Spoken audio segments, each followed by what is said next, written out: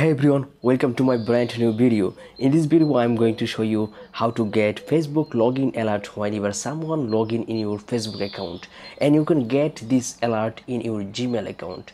You can see here that is this is my gmail account and i'm gonna check it. There is a consider login alert from chrome on oppo a5 2020 it's the phone name that is someone tried to log in my facebook account and i got alert in the and you can see in my message and you can see this alert in detail.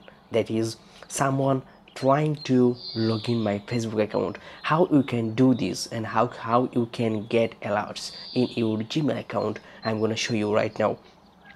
First of all just log in your facebook account. You can see this is my facebook uh, here.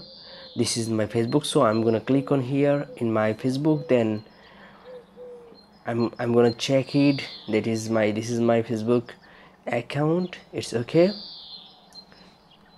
Then go to setting um, here we can see settings. All right.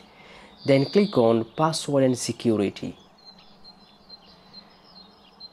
And you can find here that is where you logged you can find here. If you see there is someone logged here it's totally different. You don't know about account you can check it here. Next you can find here this is the most important and watch very carefully right now. So guys before going to the process i'm gonna ask you something. If you're new here in my channel please please subscribe my channel and hit the bell icon for getting new videos all right. Then click on here get alerts about unrecognized login. Just click on here. Right now you can find at the bottom of the site email it's on.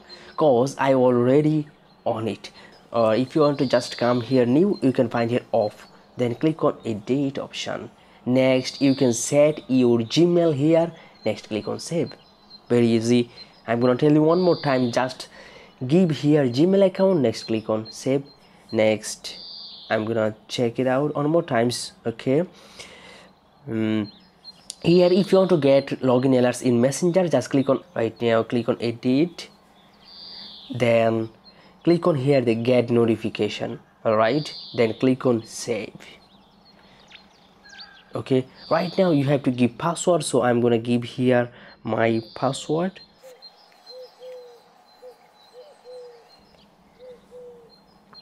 after giving password you will find that it's okay.